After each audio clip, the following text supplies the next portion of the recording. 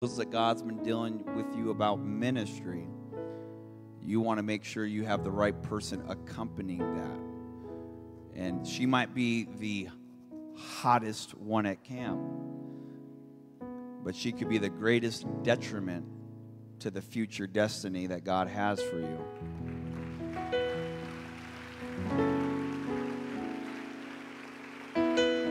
I would not be here if it was not for my wife. I love her. And it's very rarely I travel without my family. There's usually an element of my family with me. And uh, but last week was South Dakota Family Camp, and we all have a Pentecostal hangover right now. And uh, also this week we have some summer camp activities for our children. In other words, they would be here with me, so I miss them. And so I will probably be in fetal position all week weeping. Hebrews chapter 10, verse 18. If you're there, say amen. If you're not, say woman.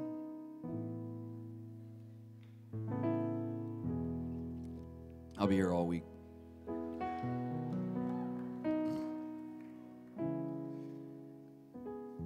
I saw Sister Serena somewhere too. Where's she at?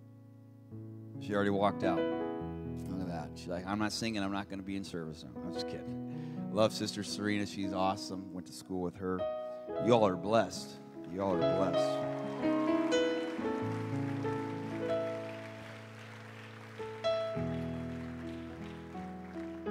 Now, where remission, someone say remission. Now, where remission of these is, there is no more offering for sin. Going back one chapter to chapter 9 in verse 22, it says, Almost all things are by the law purged with blood. And without shedding of blood, someone say, is no remission. We just read two verses here that are close in proximity discussing where there is remission and where there is no remission. And I feel like teaching tonight, and that might bore you. You might, I don't know, tune out the rest of the week, but I'm, I'm not the kind of person that tries to build hype. Um, I try to be sensitive to the Holy Ghost, and I try to help. I really want to help. We've, we've had decades of cranking your motor, getting you pumped up, but we need some things that will sustain us. And I'm not, I, there's a time to praise, there's a time to shout, there's a time to chew on walls and all that kind of stuff, but uh, I, I want to help you. I really want to help you, and not, not just me, but the Holy Ghost wants to help you. Would you ask God to speak to us in these next few moments right now as we talk about where no remission is? Lord, I pray right now in the name of Jesus that your will would be done in these next few moments. I thank you for the privilege, the honor, the opportunity to be gathered together with the saints of God. Lord, with this generation, Lord, that you have brought for such a time as this. I thank you, Lord, to be with this generation upon whom the ends of the world have come. And I pray right now in the name of Jesus that, Lord, I do not quench the spirit. I pray I do not disrupt your will, but I pray I could be a channel, a vessel, a conduit, Lord, that you could walk through, flow through, move through. And I pray right now that you would open up the windows of heaven roll back the roof of this church and fixate a ladder between heaven and earth. And may the angels of God ascend and descend upon this sanctuary. And may the divine walk up and down these aisles, Lord, between each row. And Lord, completely, absolutely, totally have your way today. Would you clap your hands to the Lord?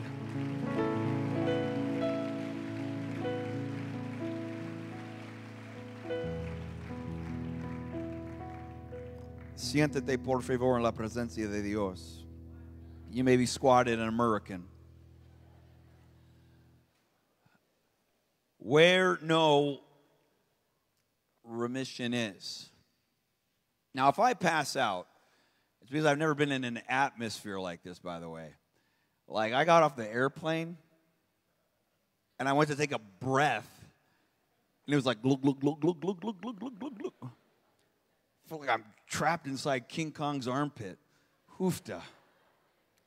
I don't know how you guys do it. You guys are like part marine animals or something. Back to focus here. Where no remission is, but I might pass out. Everyone say remission. You know, if you're in the church culture long enough, and hopefully you stick around church, and hopefully you're reading your Bible, there's terms that are thrown out there that uh, we can hear quite frequently, quite often, and uh, just kind of get excited about it because we know it's the buzzword, it's the right word, and it is supposed to evoke a certain type of response or reaction.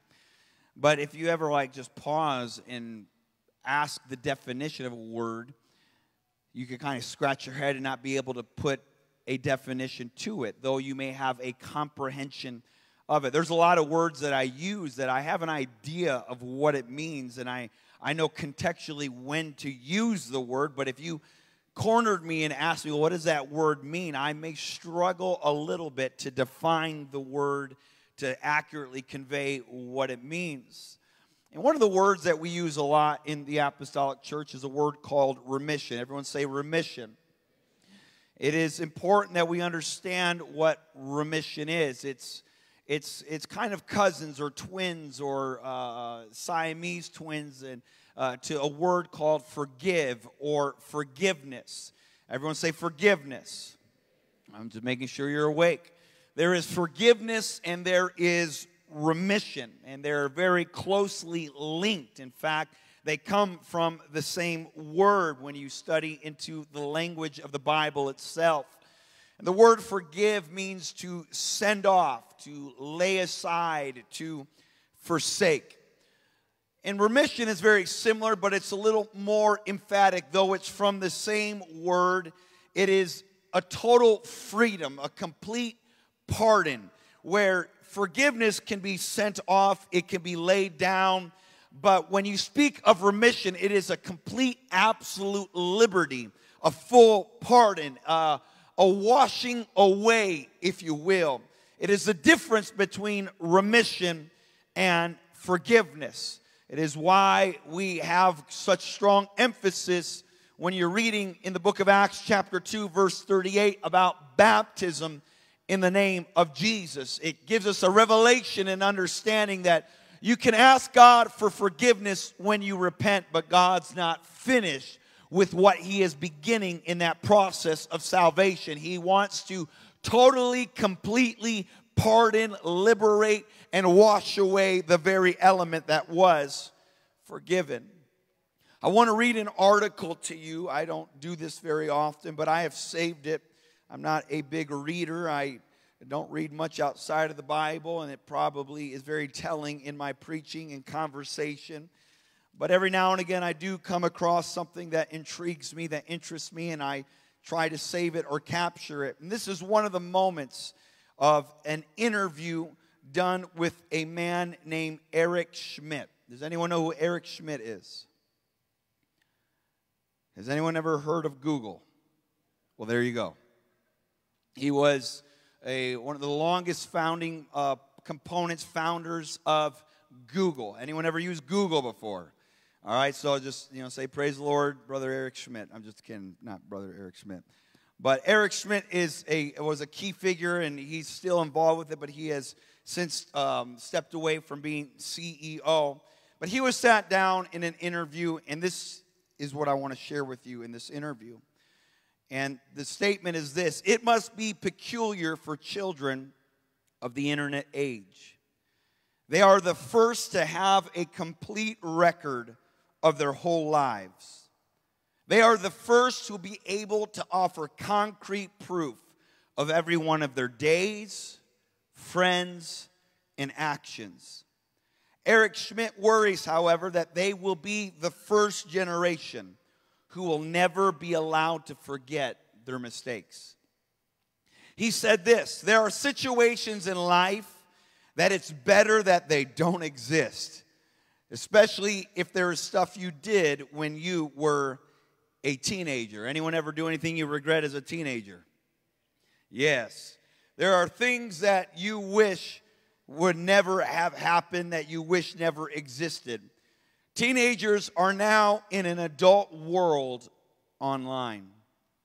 Some days you could hardly describe most of what happens online as adult. Still, Schmidt says he believes the online world has gone too far in forcing teenagers to never forget. In bygone times, he said, they were punished but allowed to grow beyond their youthful indiscretions. It's true that, as Eric Schmidt said in his speech, people are now sharing too much, what you would call TMI. In fact, Eric Schmidt gives this example, and this is not mine, it's his. He says, Future parents posting ultrasounds of their unborn babies, TMI. Now, if you're here and you're a youth committee member or whatever, and you've done it, that's your prerogative. I'm just reading, not the Holy Script, just Eric Schmidt. But he says it's just TMI. There's just information not everybody needs to know. There's some things that should be private, some things that should be personal. But part of the problem that teens might encounter in the future comes not from their having made supposed mistakes, it's from those who might choose to judge them for those supposed mistakes. As ever in life, the opinions of others, especially in the sheep pen that is called the web, can be the most mistaken and most damaging distortion of all. You are what is called not just Generation Z, but some uh, daringly call you screenagers. And believe it or not, I'm not too far removed from your generation, other than I'm like two or three times your age. In case you're wondering what a three foot man that is uh, standing before you, the age is, I'm 37 on my way to heaven. And so the youngest in this room, I don't know, 12 years old, 13, I don't know how much they allow you all to be, how old to be here. You have to be at least this tall to be here. I know that. And so I've made it. I was hoping that you guys would have a junior camp that I could preach so I could, like, you know, feel a little more like domineering or something. But when you get the teenager, people start like growing and voices are squeaking and all that kind of good stuff. But this generation of screen, screenagers, one thing I have in common to you is that uh, in my teenage years, I was, I was raised in the advent of the internet. And uh, our internet was a little different than your internet, though. Is something called dial-up. You all ever heard of dial-up? It is, it's, it's one of the most profound things in the world. I, I wish you could experience dial-up internet. You know, if, if you wanted to go online, what was amazing was there was something called AOL. I don't even know if that even exists anymore, but it's AOL Online, America Online. And you would get in the mail a CD. And the CD would be 24 hours of free internet. I'm like, 24 hours of free internet? There's no way I'm to use all that. Like, how can I possibly spend 24 hours I mean, I'm telling you, I literally was like, that's a long time to be behind a computer. According to my calculations, you know, I'm like, who does that? And so you get the, the, the CD and you start trying to figure out what you're supposed to do on the internet. And there wasn't really much to it. It was just kind of like basically just staring at a world of Minecraft, you know, megapixels. And the the uh, our parents, you know, they really didn't let us even interact much on the internet. They didn't know what it was. I didn't know what it was. But we had a computer. We had the CD. But if I ever wanted to get on, I found out basically this AOL a messenger, where you could talk to people. And I, I was interested in trying to investigate outside into that world and interact with people. And to sneak onto the internet in those days, again, it wasn't on your phone, it was on this, it was basically like your computer monitor. I don't even know if I'm allowed to touch this, I'm probably gonna get in trouble. But this was your computer tower.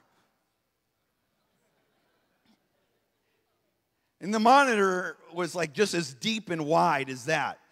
And, and you stick the CD in there, but like to, to, to sneak online in my day when I was your age, I would have to go downstairs and I would have to grab every pillow and its mother.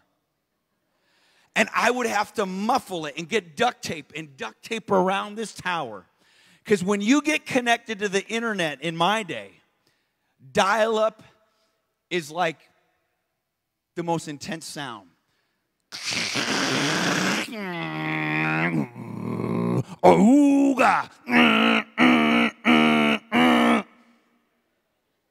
For five minutes, you got to suppress the dial up internet.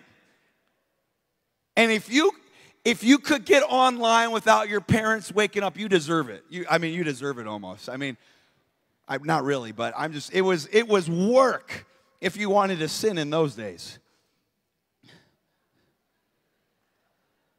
Well, it's first night. Dial-up internet. It was a it was a completely different world, and yet there were some similarities. And there, we when we had a camp, you didn't go with your phone and you know all the Instagram and all these pictures. When you went to camp, you would go and you would uh, go to Walgreens or something of that sort. You guys have Walgreens out here? You guys know what that is? Okay, okay. I need to see some head momentum here, okay? All right, there we go. You would buy this cardboard device called a disposable camera.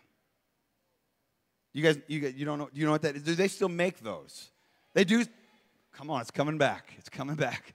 Disposable cameras. And, and you know, it's the only time I ever felt envious of not being a female. Because you can't walk around with a disposable camera as a guy unless you had a fanny pack and then you were marked for life. But the girls, would, they would get, they bring the big purse and they would stuff that purse full of disposable cameras. You know, we didn't have male European handbags in those days. A satchel, whatever you call them these days. Don't get me started. But, anyways, a merce. There we go. A merce. But the ladies would have their bags filled with these cameras, and, and when you would take a picture, you would wind it up, and it would be like and if you were rich, I mean, if your house flowed with milk and honey, you had a battery operated one with a flash on it. It had flash photography. You were, you were a big deal to have a disposable camera and to have one with a flash on there. And so back in the day, you would try to take these pictures throughout the camp, and you would you, you couldn't do like there was no selfie sticks. And so when you're my size, you got to find a friend that's tall. Because, like, you know, when you got arms like T Rex, you can't take a selfie. It's like going up my nose. And so you got to have a long friend with go go gadget arms to take the picture for you. And he would stick that thing out there, and we would take pictures all week long. And just when you thought, like, you know, camp was over, it really just began because now you go home and you take this pile of the uh, cardboard cameras and you would go to Walgreens to get them developed. I, I know you need interpretation for this kind of stuff. You would take it to the store and they put it in the room and they put it in this dark place for it to develop for their, the film so you could see what the pictures were. And it was days later before you could ever see those pictures. But again, if you were like a rich snob that had, you know, the flashing camera, you probably found that newfound technology same day development. It was revolutionary. It was revolutionary. You guys don't even know what I'm talking about. And so finally you would get those things and you would you would unpack them after or you go back to Walgreens, you buy them and you go home and you look in that and you look at all your pictures because you want to show your friends, your family, you know, that girlfriend that, you know, she didn't know she was your girlfriend, but you're gonna claim her as your girlfriend in the picture. And all of a sudden, when the moment comes, it's all out of focus. That selfie's a messy. There, it don't look right. It don't look good. I promise you guys, you look a lot better than this. I, I promise you. And none of it turns out. And then, like, there's always the great moments where you forget that you had a camera. And your mom tells you to clean your room like a year later, and you find a camera in the closet you forgot. It's like Christmas all over again. I'm telling you, it was the best of times. It was the worst of times. It was the 90s.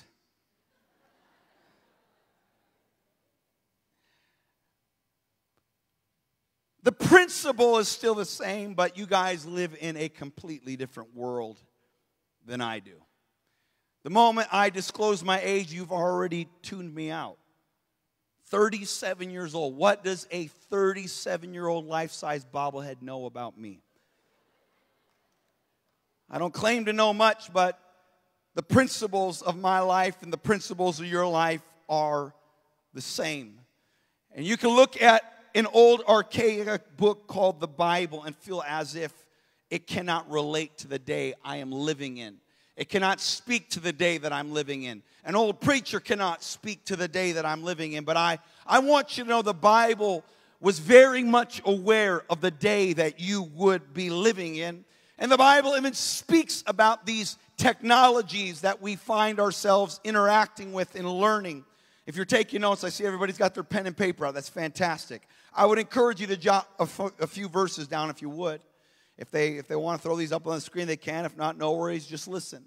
1 Timothy 5.13 speaks about social media.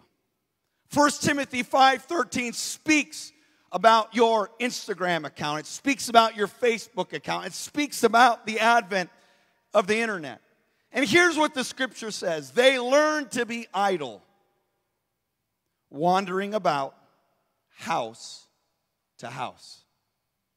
See, back in the day, social media construct was this you physically go somewhere to do things you're not supposed to do. But in 2021, we digitally go somewhere doing things we're not supposed to do. You had to go to so and so's house physically, get up, make the trek and the journey to go have the discussion. The woman at the well, that was a hot spot. That was a place where people would go and congregate for social media gatherings. But today, we don't have to get up from where we're, we don't have to get up from bed all day. We can sit in bed all day, and your parents bring you your food, and you're sitting there on the internet, on social media, going from house to house to house. It goes on to say this they're not only idle, but they're tattlers, busybodies. That means gossiping. It goes on to say, speaking things they ought not. Well, man, if you ever want to encapsulate what social media is, people learning to be idle, going from house to house, talking about people, and talking about things they ought not to talk about. But of course, here in Mississippi, there's nobody in this room that does that. So this doesn't apply to anybody. But we've never been more busy doing nothing. Sitting there in front of a screen, speaking in thumbs. All day. And we feel like we did so much, and so much time passes, and yet nothing was accomplished but conversations that if we went back and looked at the transcript, we might actually blush. The Bible says in Ephesians 4:29, "Let no corrupt communication proceed out of your mouth, but that which is good to the use of edifying, that it may minister grace unto the hearers."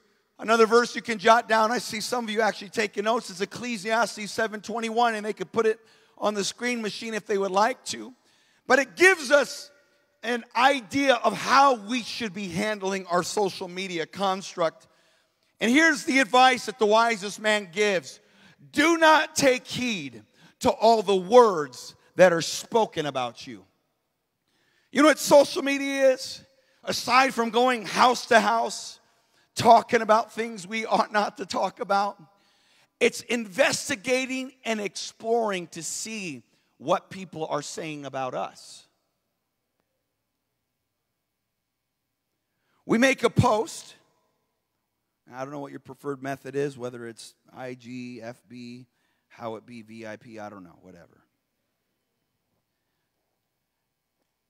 And no, no more than five minutes later, go right back to see if anybody responded to it. Did someone put a thumb up? Did someone put a heart? Did someone put some sort of emoji? Did, did somebody retweet it? Did somebody reply? Did somebody share it? And it didn't happen after five minutes, so we go back in one minute just to see if anybody is saying anything.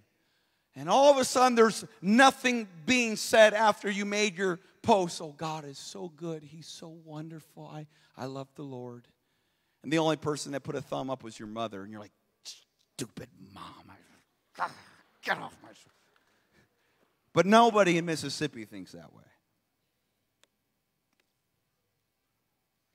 And so you don't get what you hope for, so you do the other side of the coin. I hate my life. My life is terrible. I just don't. Even, I'm so ugly. I'm so stupid. Nobody loves me. I just, I'm going to quit. I'm going to walk away from church. But nobody in Mississippi.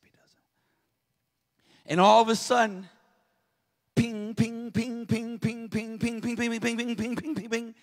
You got 23 comments. You got a bunch of emoticons. Everyone, oh, girl, you're the best. You're beautiful. You're awesome. You're great. You're incredible.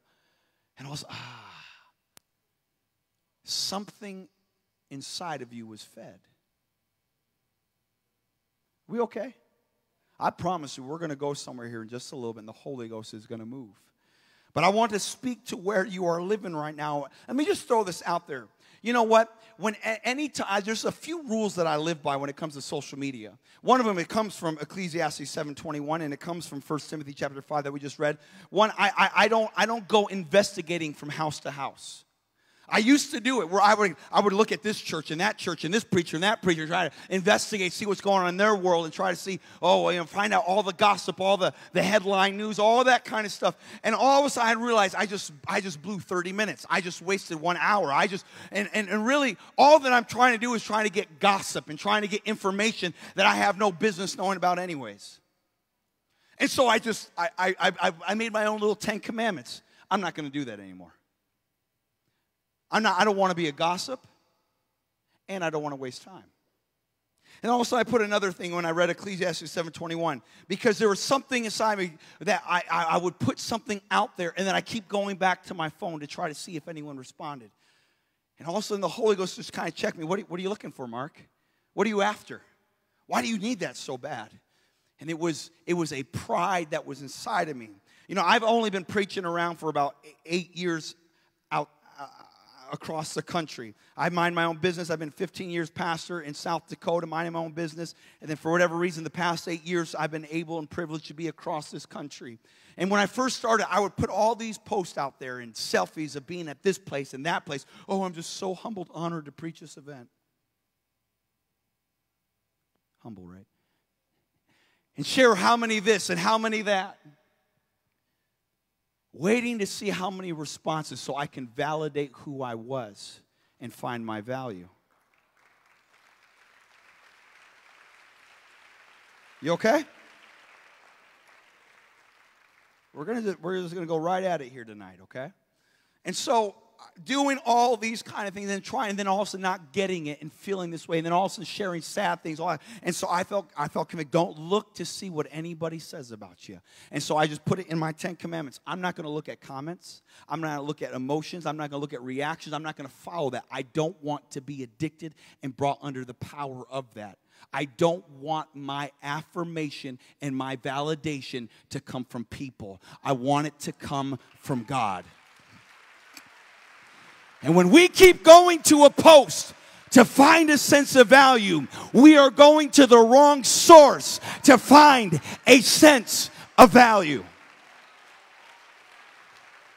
The reason why a number of you feel so insecure and inferior is because you're going to the wrong source. If you had a daily prayer life, if you had a prayer closet and you talked to the Lord for an amount of time, you would find out who you really are and what you are in that you're a child of God, that you are fearfully and wonderfully.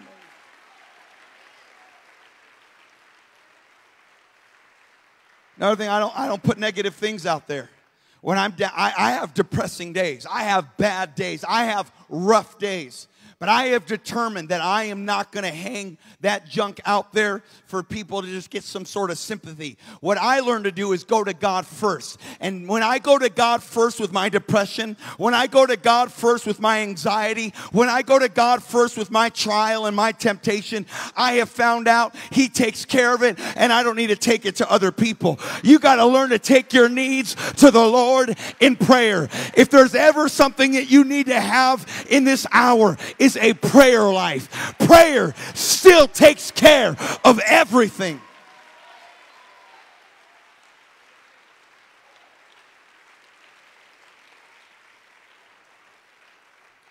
Google's in your Bible. You know that? If they want to put up Psalm 64, verses 4 through 6, Google's right there in your Bible. It talks about people shooting secret at the perfect and not fearing, having no fear, no reservation, you know, keyboard commandos. And the dog, you're just talking smack, talking trash, and then all of a sudden they saw someone purpose. Bold as a lion behind your keyboard. And all of a sudden in public, uh, I'll give you honor, brother. Yeah. But look at verse 6. They search out iniquities, they accomplish a diligent search. The search engine, all Google is, is an extension of a dilemma that's inside of us searching and looking diligently. And the truth be told, most of the things we search for are not productive to our walk with God. They prohibit our walk with God. They I'm gonna hurry up. What time is it? 9:14. What time do I gotta be done? But but do be honest. When I go along, just say, like, you won't hurt my feelings because I'm really tired. I'll tell you what I know about social media. What I have learned is that social media is evidence that we all have time to read our Bible and pray.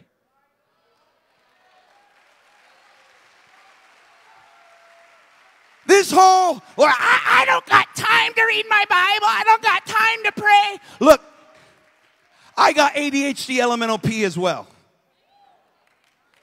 I'll believe our diagnosis if you can't sit there and watch a two hour movie or be on social media for one hour. I'll believe your diagnosis. Our problem has never been attention span. It's been appetite. That which you have an appetite for, you will give attention to. We've got to get a hunger and a thirst after righteousness. And if we get a hunger and a thirst for righteousness, God will fill that void.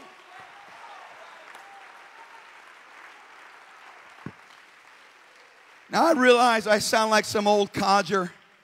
I know I sound like some jerk, but I'm here really to help you. I'm not mad at you. I just want you to make up your mind not to let the digital world determine your spiritual world. It's the first thing we reach for every day. It's the very thing that, it's the weight that so easily besets us. This, this device that doesn't even weigh not even a quarter of a pound. I don't know how many gram, grams or ounces it is, but it's got us pulling down. We get a smartphone before we get a rattle these days. It's wild. Completely different world that we're living in. But here's what I want to address here is that there is an effect from this device that we have to be aware of. We got to know the profound implications of this. How can we so freely do things here that we would not do in real time, in real place, in the physical? But in the digital, there's this liberty to just run wild and free and explore. It's called the effect of anonymity online or perceived anonymity. And its impact cannot be underestimated because it fuels something called online disinhibition. What, what, what happens when you're on that world, there's a great book. I would encourage you to read it if you ever get bored. There's not a lot of pictures on there. It's not scratch and sniff or pop up, so I don't know if you like it or not. But it, it it's called The Cyber Effect, and it, it discusses about human behavior online. It's a psychologist, psychotherapist, whatever that's basically focusing on the digital world. And our human behavior, she states, is amplified and accelerated online. There is more trust and more information given online. Self disclosure goes from 40% that you would disclose to somebody in person to 80% online. It says it is the equivalent of you being under the influence of alcohol, being tipsy, being drunk, where you begin to let your guard down and begin to disclose information. We do things in that environment that we would not do in another environment. Like, which one of you ladies would be walking outside. Well, hopefully, wait till wintertime. It's so humid out there. I don't know how you guys do it. But what, what, what one of you ladies would walk outside and you see a stranger across the street that's just like really eerie and creepy and say, you know what? I think I want to go talk to him. Hi, how you doing? My name's so and so. I live at 903 Second Street Northwest, and I just. Like, who would do that? But we'll be on our phone and do the exact same thing.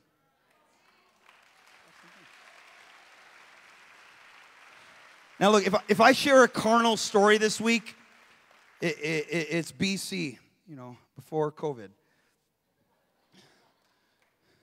I haven't always lived for the Lord, by the way, just throw that out there. But like, I was born and raised in the south suburbs of Chicago, and, and we, would, we would go clubbing, and uh, it's a horrible environment. But there's something that always ticked me off about clubbing is when you go to these atmospheres, you see some of the ugliest dudes there with with with these girls that are like way out of their league. You know what I'm saying? Like a three with a ten, you're like, what? Is that too deep? Oh, that's, ask me later. There's no way that 10 would give that three a time of day. If that, if that dude walked up to her and started touching her body and dancing on her, she, she would call the police and slap him and run. But you take those two people in a different environment.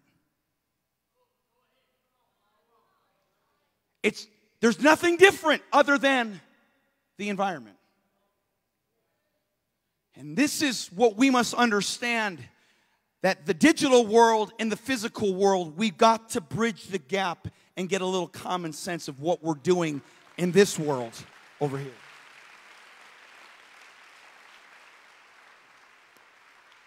We okay? I, I told you we're just going to do a little teaching here for a moment. Everything we do leaves a digital fingerprint. The digital world is real, if not more real than the physical world, or at least it has something called real world consequences. This illustration maybe may help you to comprehend something that I'm saying is I know you guys have Walmart. I was just at Walmart before I came here. Thank God for Walmart. Doesn't have to do, but he did. So the Lord gave us Walmart, and I was there. And if anyone ever been to Walmart? A couple people? Okay. Don't raise your hand for this next one, okay? And, because we're not going to have confession right now. But how many here would walk into Walmart, go to the CD aisle, if they even still have those, and grab a bunch of CDs or DVDs stick them in your pocket, your male European handbag, your satchel, fanny pack, and walk out of Walmart with those CDs. We wouldn't do that. Because there is so much nerves going on and fear. I'll get caught. I'm getting in trouble. I know that's wrong. That's not right. Now, let me ask this question. Don't raise your hand. How many of you have downloaded music that you never paid for. It's the same thing. It's the same thing. Now, don't get mad at me. Why do we have such liberty and freeness to do one and not the other?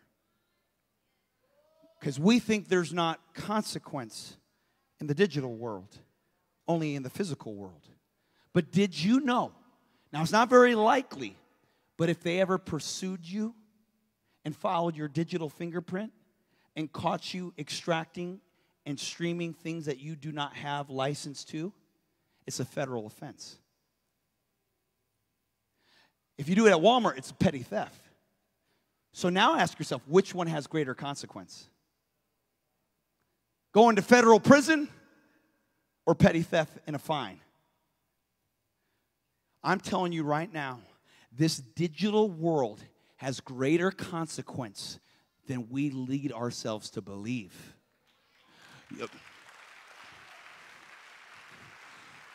You may not physically be in the presence of that girl performing that act. And you may not physically be in the presence of that man performing that act, but I want you to know there are some consequences when you start playing with sin in the digital world and you're not going to come out of it clean. I wonder if there could be a lifting of the voice for just a moment. Holy Ghost, we need you right now. I pray, God, your presence usher in these next few moments. I pray, God, you take scales off of eyes. I pray a spirit of revelation would usher into this room.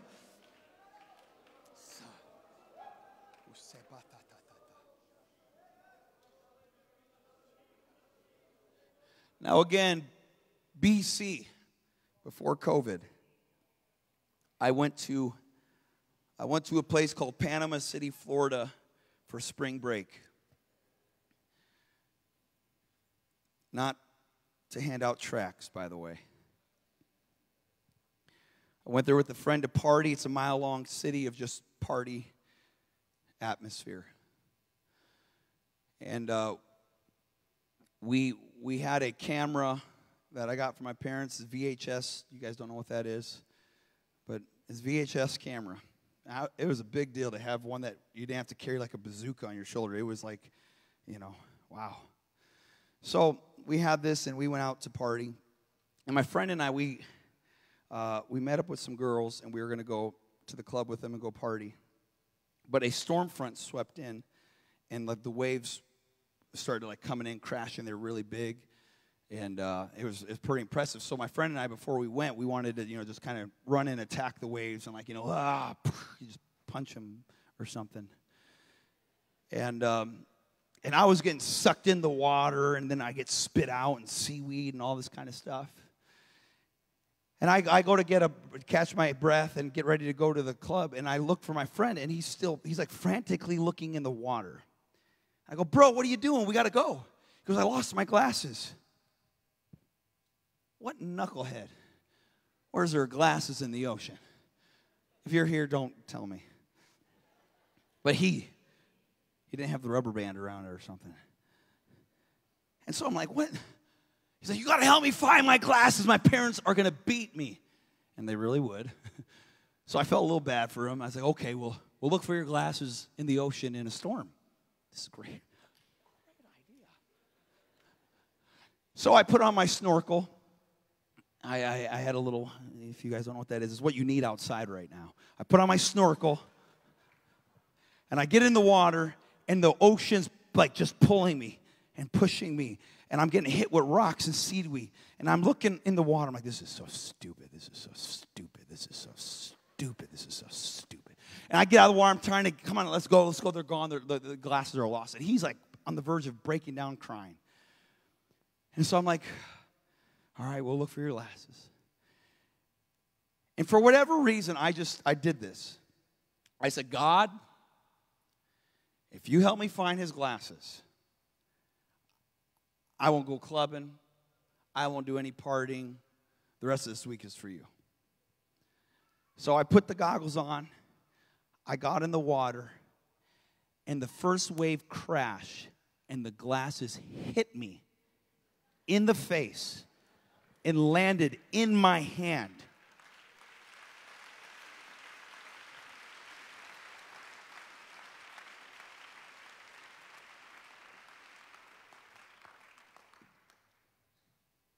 I'm standing on the beach. My friend's still. And I don't know how long I stared at them and how long he was looking for his glasses, but I had them. And he gets out of the water. He goes, What are you doing? I go, I found your glasses. He's like, That's great. Yeah. Great. I gave him the glasses. I went back to the hotel and I made an altar and I made right with God. It was a miraculous moment. Fast forward a couple weeks later, we're back in the, the south suburbs of Chicago. And I'm in my room reading my Bible. And I get a knock on the door. Mijo!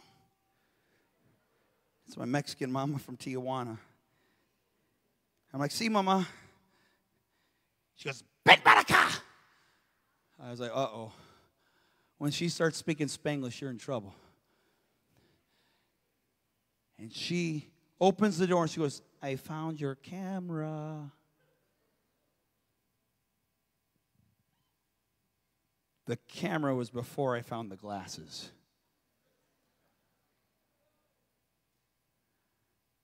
Did God forgive me? But the sin was archived. And someone was able to retrieve my past.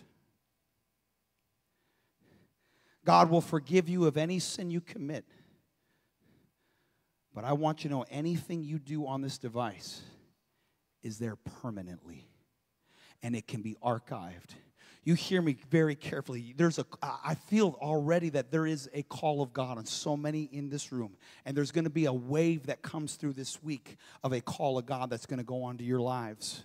But a call of God is not permission to be carnal and casual. The call of God is a call to diligence, to live a life of sanctification and holiness and separation. And this little device right here is going to hold so many people's calling hostage because what's going to happen, you're going to find an altar with God. God's going to do a mighty work in your life. But when you go back home, that enemy is going to archive your past, those pictures that you sent out, that party you were at We've got to be diligent with our call of God. We cannot be casual. We cannot let our guard down. What you have is a high calling. What you got is too precious to be so lax with this. Can you lift your hands? I'm hurrying up. It's 9:30. I've been preaching about 35 minutes. We okay? Keep praying. Lift your voices. I'm trying to be very sensitive here. I'm trying to be obedient.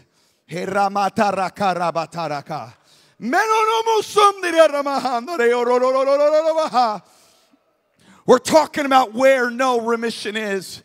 And I'm here to give you an insight and a hopefully, God willing, a revelation from the Spirit that where no remission is, is in this world. This world will never, ever let you forget. I, I remember when, you know, iOS software updates that come every year. I remember one of the iOS software updates when it came, and, uh, and uh, I went to um, start exploring it, and I went to my iTunes, and all of a sudden, like uh, Skittles pops up, or Eminem, or whatever. And so all of a sudden, all this old music starts surfacing. I'm like, man, I, I deleted that. I haven't listened in a long time. But Apple had record of everything I used to listen to everything I used to purchase and brought it all right back. There's nothing you do on this device that's forever gone. TikTok is not forever gone. Your storyline is not forever gone. It may not be easily traceable and accessible to some people, but you better believe that it's still out there in that digital sphere somewhere. It just takes one hacker. It doesn't even take a hacker anymore. It's as simple as a screenshot. One screenshot can dethrone your destiny. One screenshot. You get all bold in the moment. The Lord spoke to me. He says, This generation doesn't lack passion, it lacks temperance. You don't know how to restrain yourself from your emotions. In the heat of a moment, you'll fly off the cuff and text the most venomous message and send it out, or some personal information and fully disclose it to the entire youth group, just so you can get vengeance on somebody in your youth group. And all of a sudden, conviction catches up a little later. Like, oh, what do I do? What do I do? What do I do? It's too late. It's out there. Ladies, listen to me. There is not a single guy in this world worth you sending a nude image to.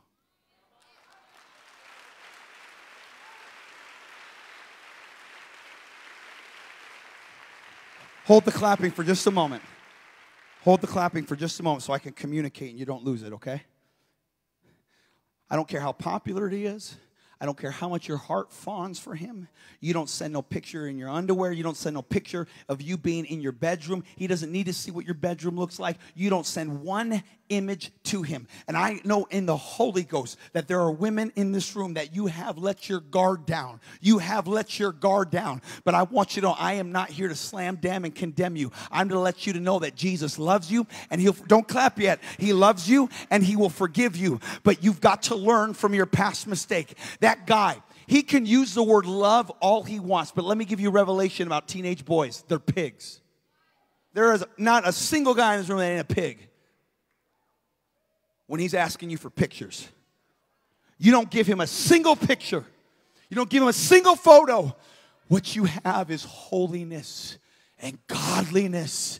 You don't need to give that up for some boy who in one week's gonna move on. You know why he wants that picture? He just wants a trophy. The moment he gets it, he's gonna send it to all his friends, and all of a sudden it's gonna blow up in your face, and you're gonna have so much shame on you, you're not gonna even feel like you wanna go back to the youth group because the youth group already saw everything. This is why we've got to deal with the situation this day. We've got to get serious about what we're doing with our devices. Look, you got a purpose on your life. You got an anointing on your life. You got a call of God on your life.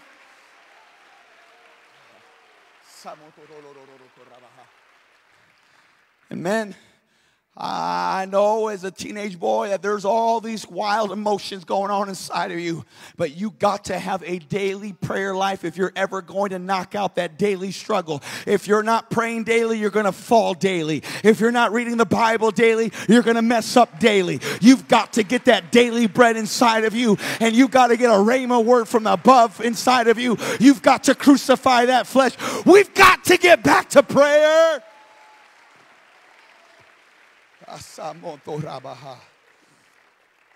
Maybe seated. I, I, you just tell me when to stop. We okay?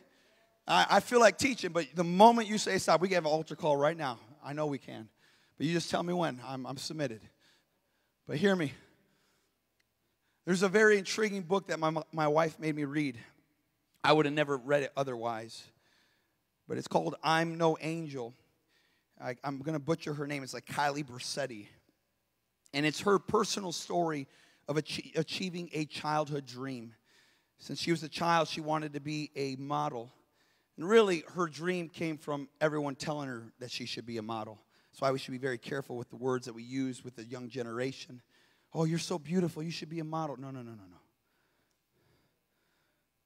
Compliment something worthwhile their giftings, their personality. Don't reduce them to an accessory. And so, anyways, she ends up entering a contest for Victoria's Secret to be a model. It was like a reality show or something. And she ends up winning. She becomes an angel for Victoria's Secret. And the first time she's going to walk the catwalk as an angel, she has to sit in a chair for eight hours while they completely repigment her skin, rip off her eyelashes and eyebrows, and do them up the way they see fit, and change her hair color and after being in that chair for all those hours, then was she pretty enough to walk and represent Victoria's Secret. Just to give you a little insight, I thank God for modesty, shamefacedness, sobriety. I thank God for it. So, anyways, she, she, she does it, and she has a horrific story of all these things that happened to her in the process of trying to become a model. All these attacks and things like that. It's, it's very horrible. And um, in the process, she ends up getting converted to Christianity. And in her conversion, she starts feeling convicted about walking out there immodestly and being a bad example and a bad role model for future generations. It's a very intriguing book. And so she steps away from it.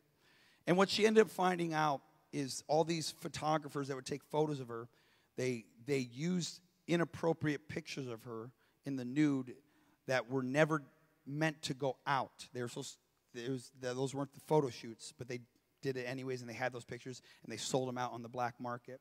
And so when she went out as a Christian to teach on modesty and do these lectures, everybody would Google search her But when they would type her name, the images was not a modest, wholesome Kylie. It was nude. It was inappropriate. And so she was so embarrassed, so ashamed. So she took it to the court system to try to get all those images out of there. And she won the case, but the judge basically just told her, look, there's it is impossible for us to get rid of every single one of those images. It's just not possible. They're illegal. And if you went to court with somebody with that photo, you will win. But there's no way we could get it off the internet. It's there forever. I'm here to expose the bold faced lie of the devil that the world is the most loving, welcoming, forgiving place. See, the devil wants you to think that the church is so judgmental and they judge your past and they they look down on you and they think they're better than you and they think they're holier than you. No, no, no, no. It's the world that will never let you forget. It's the world where you will find there is no remission. Because the moment you turn your back on the world, the moment you offend someone, they're going to pull up your past and they're going to stab you in the back. I'm telling you, the world is the most vicious place, the world is the most hateful place. They will never. You know what? You know what politics is? You know what a, the political campaign is? It's one opponent versus the other archiving their past. This person can live a squeaky clean life for 25, 30, 40, 50 years. And you find one photo of them from 40 years ago, one quote of them 50 years ago, and the world will turn on you. If that should not give you an understanding that, look, the devil is not your homeboy, he's not your friend, he doesn't have your best interest, he's only here to steal, to kill, and to destroy. You have a blessed opportunity to step into the house of God.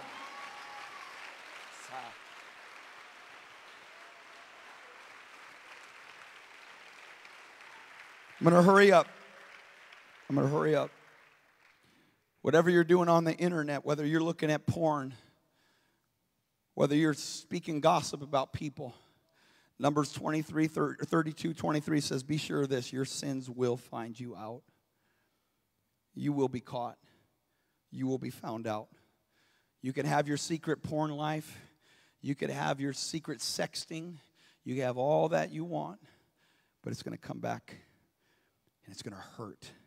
It's why there's such high teen suicides because sexting information goes out there in the high school and they are they can't take the onslaught that floods them and all of a sudden they're overwhelmed and depressed. People lose their jobs over things done on their phones and social media. Let's lift our hands. I'm just about done. Holy Ghost, I pray you penetrate the heart of every young teenager that is here right now. God, I pray your spirit would go through this audience right now and awaken them. Awaken this generation to have discernment. Awaken this generation, God, to be sensitive enough to know that something is not right and not to give in to that emotion in the moment, but God, to exercise temperance, restraint, and self denial Ramande diarade. We've talked about where no remission is, but let me tell you where you can find remission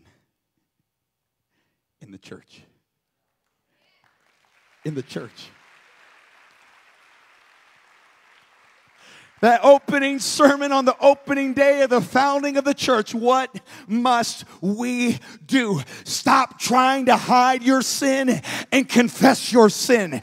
And after you confess, see, the devil wants you to be afraid of confession, thinking that if you acknowledge it and confess it, that it will be used against you. But God says, no, if you acknowledge it, if you confess it, I can plunge it under the blood.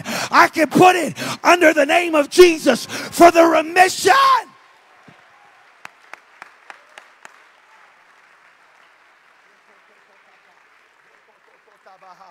The Bible says that in Acts 2:38 in the name of Jesus Christ when you're baptized it is for the remission of your sins. It says in Acts 22:16 why tarriest thou? What are you waiting for? Arise and wash away your sins how? By calling on the name of the Lord.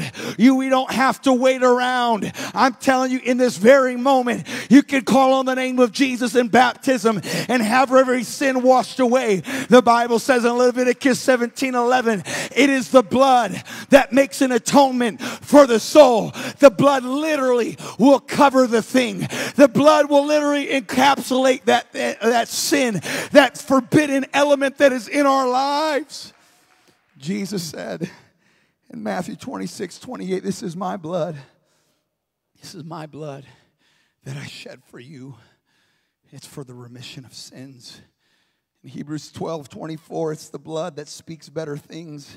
In Hebrews 9 22, it says, Without the shedding of blood, there is no remission, but the shedding of blood is where we find remission. In 2 Corinthians 8 9, it gives us an understanding about Jesus. Though he was rich, he became poor. He could have came any way he wanted to. But Jesus came in poverty. So poor was Jesus. The family offering at the temple was one of poverty. So poor was Jesus when he grew up, he had no home. So poor was Jesus when he grew up, he had no property. So poor was Jesus, he never owned a bed.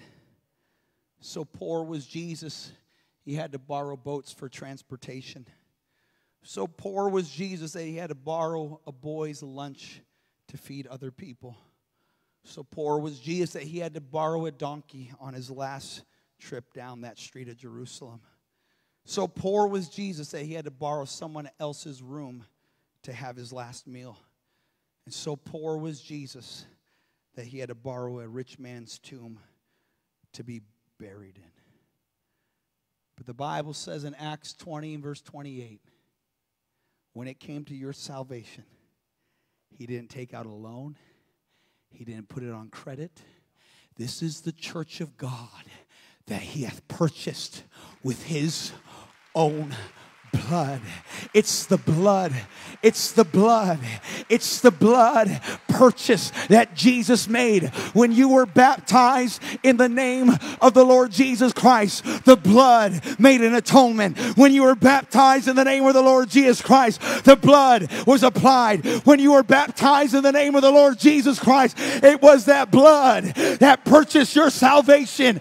God gave everything for you to be saved. God sacrifice so you can have your sins remitted. Ah, lift your hands, lift your voices.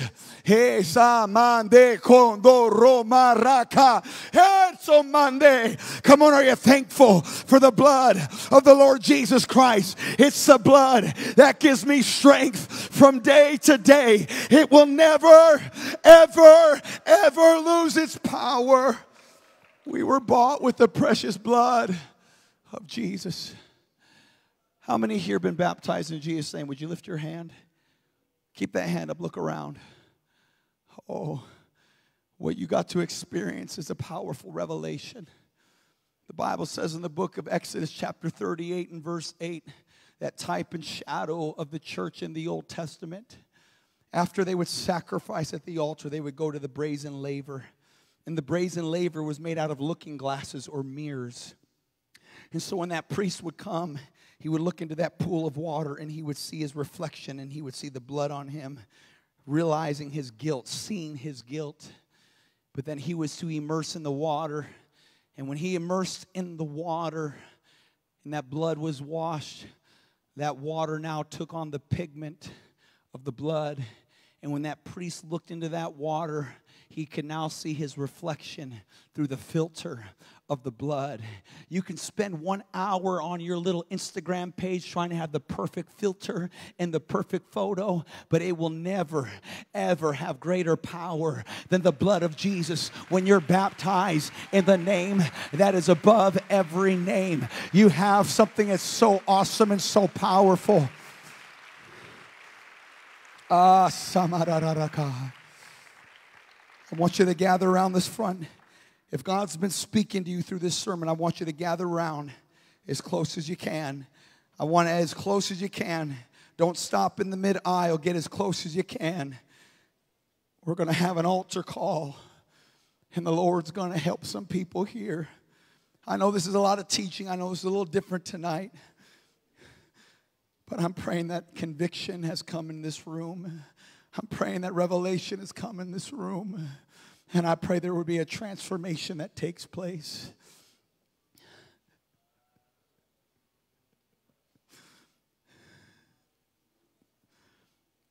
This right here.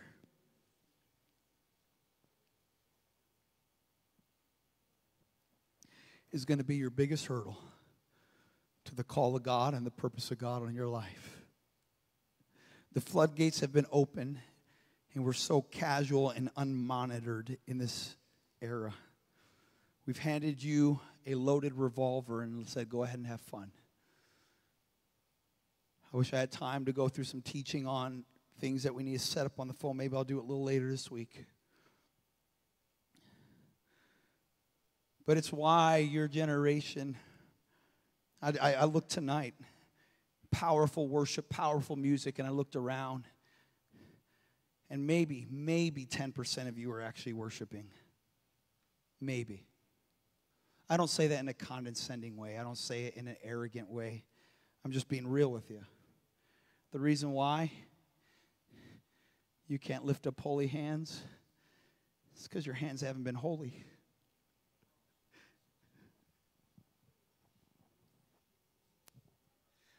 There's wrath and there's doubting in this room. And you just know that if you do it, you're, you feel like a hypocrite. But God will forgive you this very night. Now, don't, don't, don't clap. Let me just teach for just a moment and help you understand something about forgiveness. One, I do believe forgiveness has a powerful effect and feeling of a load coming off of you. But some of you, the guilt is so strong that when you confess your sins and you go to repent, you don't feel all those feelings that you would like to feel. But let me help you. Forgiveness is not a feeling, forgiveness is a promised reality. The Bible, hold on, hold on, hold on don't, don't miss this. I know you, I'm, I'm not trying to be mean. I'm, I'm just want to make sure you hear. The Bible, you, you want to know how fast forgiveness works? It's been clocked at the speed of confession. That fast. Because it says in 1 John 1 8 9, if we confess our sins, God is faithful and just to forgive us of all of our sins and to cleanse us from all unrighteousness. And I'm talking to, it is thick in this room right now. There is much sexual perversion in this room. I'm not saying that to rub your nose in it, but I'm saying there is so much people in this room that are bound and that are full of shame that you went down a road you never intended to go. But I'm here to expose the lie of the devil. The world will never let you forget. But in this room is the power of the blood of the Lord Jesus Christ that will wash everything away. Now, hold on. Let me give some instruction. Young people, you know a lot of people's sins in this room, thanks to social media and text threads. If they're not going to find remission in the world, I hope they can find it in your youth group. Hear me in the Holy Ghost. Because some people haven't come back to your youth group because everybody knows. And they don't feel they can find remission in your church. If you want Jesus to forgive you, you've got to forgive them. There's got to be forgiveness all around. Your church should be the safest place for teenagers to come with a history, a past that is miles long, gigabytes, terabytes long. And they should feel safe to come to your altar and your youth service knowing, you know what? They'll take me in and they'll forgive me and God will forgive me. If you're here right now, there is such a heavy.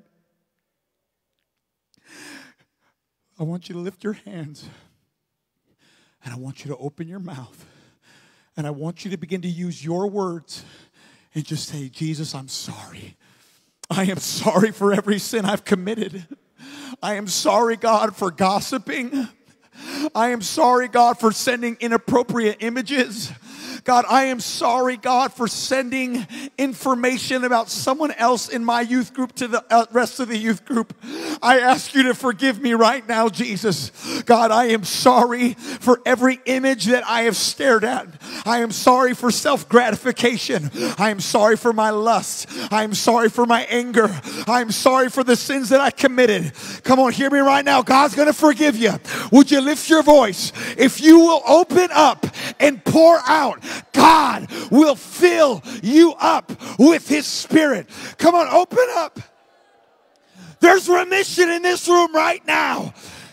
Don't look around. Don't look at me. Don't look to anyone else. Just you and Jesus right now. Let's start off this camp with the blood of Jesus being applied. Come on, nobody should be looking around. No eyes open. No eyes open. Just you and Jesus in your closet prayer. Everybody, let us be one mind, one accord, one place. Let there be one mass repentance. Let there be one mass remission in the house of God. Ma. That's it. Don't look at me. Don't look at me. Come on, pray. Pray. This is your moment to have remission.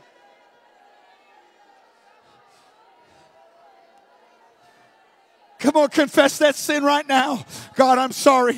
I'm sorry. I'm not going to hide anymore. The digital world has consequence. The digital world has consequence. Le mondo maha. Meroto taraka. Merondo marare. I pray godly sorrow to work repentance unto salvation tonight. May godly sorrow work repentance, not to be repented of. In the name of the Lord Jesus, let salvation sweep in this room. Let salvation usher in this room. That's it. Let the tears fall. Let the tears fall. That's good. Let it out. Let it out. Let it out. Let it out.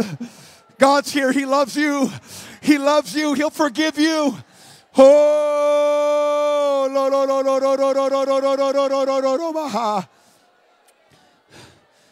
that's it, youth workers. That's it, youth workers. There's so many teens here right now that are weeping. They need to feel that hand of remission on them. Come on, youth workers. Let's pray for these teens right now. There's so much being poured out right now. There's a surgery in the Spirit taking place right now. In the name of Jesus, I pray the gifts of the Spirit would be released in this room right now for altar workers to pray, Lord, with the word of knowledge. May altar workers pray with the word of wisdom. May altar workers pray with the gift of faith. May altar workers pray with the discerning of spirits right now.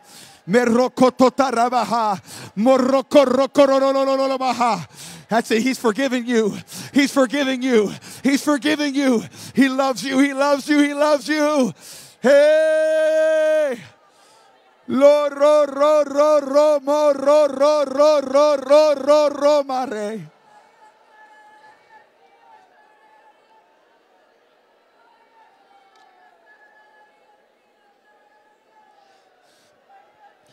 I said, pour it out.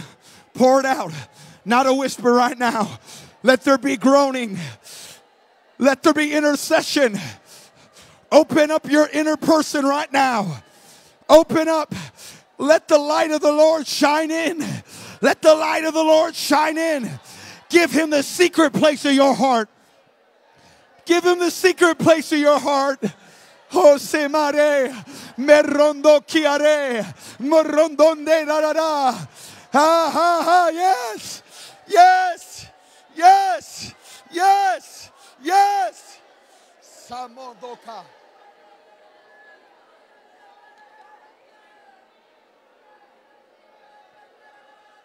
That's it. Tap into the wells of salvation right now.